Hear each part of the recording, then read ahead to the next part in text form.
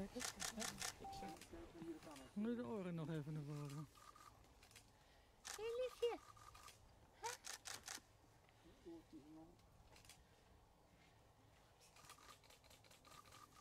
is bijna altijd donker.